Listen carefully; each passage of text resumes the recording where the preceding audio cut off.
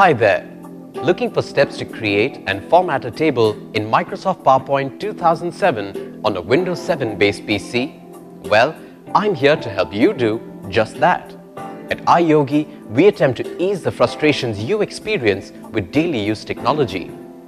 Now, you can show important trends and relationships among groups of data by adding tables to your PowerPoint presentation.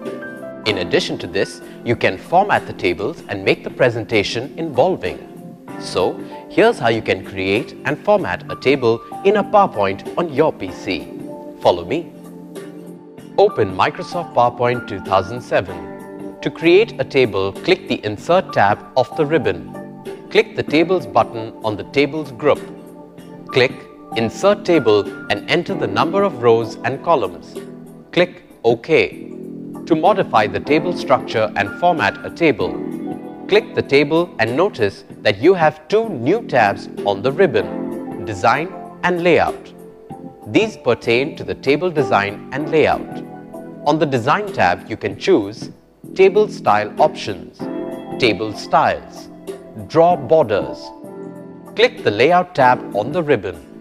This Layout tab allows you to view grid lines and properties from the table group, insert rows and columns from the rows and columns group, delete the table, rows and or columns from the rows and columns group, merge or split cells from the merge group, increase and decrease cell size from the cell size group, change the height and width of the table from the table size group.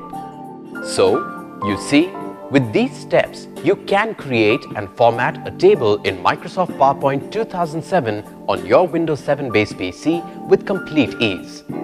Don't you just love technology?